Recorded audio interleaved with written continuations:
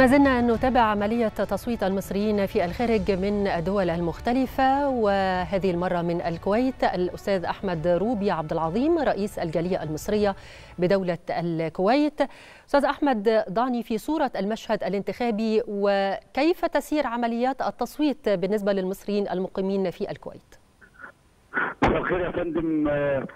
النهارده المصريين نازلين النهارده في الانتخابات بيقولوا إحنا جايين نحضر عنصر انتخابي إحنا جايين النهارده من رسالة العالم إن الشعب المصري كله خلف القيادة السياسية ومع سيادتك كلهم على قلب رئيس واحد على قرارات الدولة المصرية كلنا بنأيد الرئيس عبد الفتاح السيسي.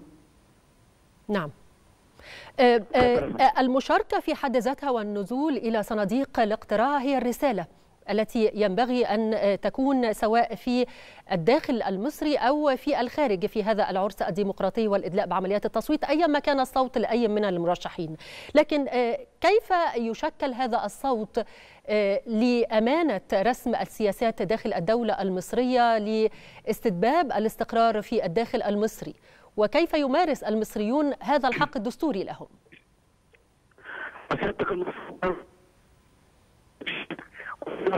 كمصريين ده حق دستوري ننزل ونشارك وإحنا كرئيس دولة مصرية داخل كل وكل الاسم بيقول تختار سيادتك.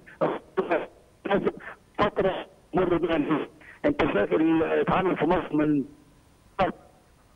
أستاذ أحمد هل من الممكن تغيير وضع الهاتف حتى نستطيع سماعك بوضوح؟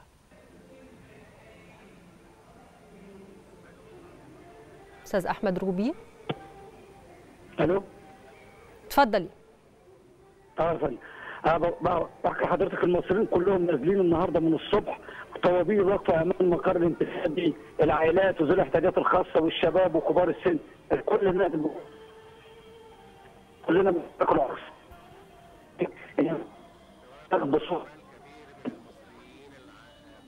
نعم أشكرك على أي حال وأعتذر عن عدم استتباب الصوت بالشكل الأمثل من المصدر من الكويت الأستاذ أحمد روبي عبد العظيم رئيس الجالية المصرية. أشكرك جزيل الشكر.